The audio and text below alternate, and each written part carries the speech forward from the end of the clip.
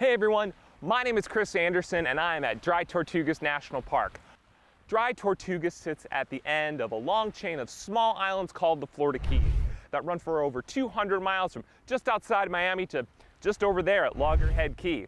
And these islands actually used to be coral reefs. Wait a minute. Coral reefs are underwater ecosystems. How come these are islands now? Does that mean islands could just pop out of the ocean and then just disappear beneath the sea just like that? Let's learn more about this Abracadabra archipelago today on OutSCIder Classroom.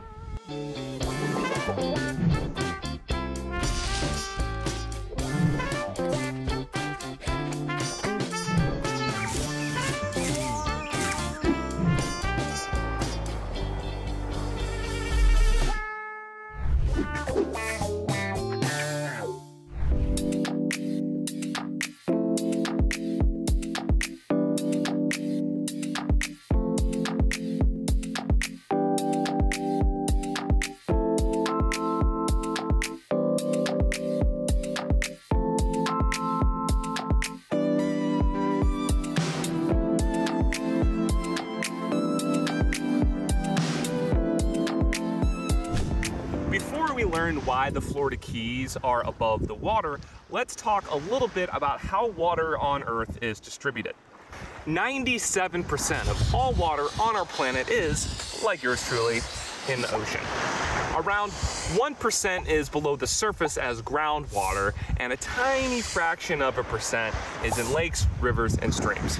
The remaining 2% is frozen in glaciers and ice caps, and that is where the action is. Glaciers are really big, really dense sheets of ice that can stay frozen for thousands or even millions of years. They exist either at the poles or really high altitudes where they won't melt and they can accumulate ice as it snows.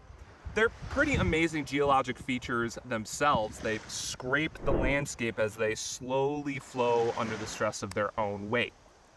Now, I know what you're thinking. Chris, you are sitting in the Caribbean. What does that have anything to do with glaciers? To help us learn more about glaciers, sea level rise, and climate patterns is my friend and paleoclimatologist, Dr. Rocio Caballero Gill. Hello, my name is Dr. Rocio Paola Caballero Gill. I am a trained paleoclimatologist and paleoceanographer. And so, depending on where the Earth is around the sun and how it wobbles and, and faces or not the Earth, you can have more or less energy on Earth. And that's really the beginning. And, and these things happen cyclically. Um, they're called the Milankovitch cycles. And how much more or less energy in general you get, um, that's the first step. So the atmosphere and the ocean are always in communication, always talking, chatty, chatty up. And the idea is that in these times of like coldness, um, you're gonna have that precipitation and, and that communication between the ocean and the atmosphere, bring that, that moisture towards the poles. And because it's so cold, essentially it's going to allow that precipitation, that snow to fall and almost like last longer right? And so as you accumulate more and more of that moisture into snow and lock it on the ice sheet, you're sending more of that water from the surface of the ocean into the ice sheet and locking it there. You know, if you can imagine going from a cold period where you have a super huge massive ice sheet to a warm period where it, you know that ice is going to melt and it's going to add the water from that ice sheet into the ocean the ocean in general would um, raise its level so the sea level would rise right if you think of florida because the water is so far up high, it also comes more inland, right? And so parts of um, the surrounding area of Florida, like the ones that are submerged underwater, they would allow to be, you know, places where coral reefs could thrive and all these things. And so in a sense, a lot of Florida was underwater, especially southern Florida and the Keys were underwater, having these reefs like thrive and be happy. Well, that was when it was warm, right, interglacial. Then you go down to a glacial cycle. And when it, you go down to the glacial cycle from the warm to the cold, then you start accumulating that ice. All of that moisture from the ocean gets locked on the ice sheet. So the sea level, generally speaking, is going to go down and down and down, uncovering the areas of Florida that had coral reefs. And so now are no longer coral reefs, you know, under the ocean. They're actually uh, on land, and you can see them. And that's essentially what happens in, in dry tortugas. Check this out. This is limestone, and it was formed by an ancient coral reef. You can even see the fossilized coral from the reef's heyday. 150,000 years ago, sea levels were much higher, probably several meters above my head. This island would have been underwater and home to a teeming, vibrant coral reef. In fact, this whole island was built by a coral reef. Earth's climate would also have been a lot warmer, less glaciers and ice caps trapping water as ice than we have today. But as evidenced by the fact I'm currently standing on dry land, Earth's climate got cooler. Glaciers grew, trapping more ice and lowering sea levels. In fact, during the last ice age, so much water was trapped as ice, the shoreline was 10 miles off coast where the Florida Keys are today. This cycling of warming and cooling climates can be found right here in the rock record. During cooler periods, more water was trapped in glaciers and sea levels fell, exposing more of the Florida Keys to dry land. During warmer periods, the glaciers melted, flooding the Keys and allowing coral reefs like the ones fossilized here to flourish. It's all right here in the rocks.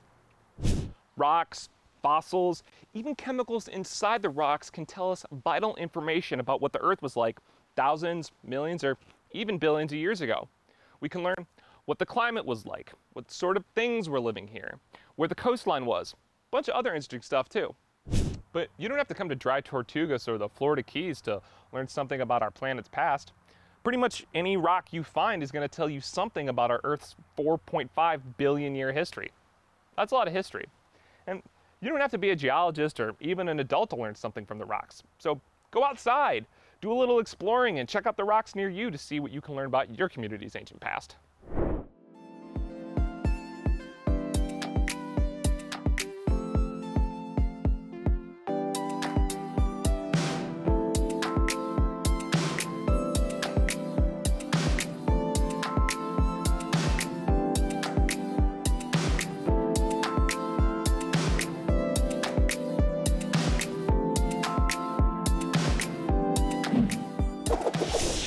That's our show. Thanks for watching.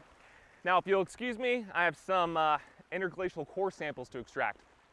We'll see you next time in OutSCIder Classroom.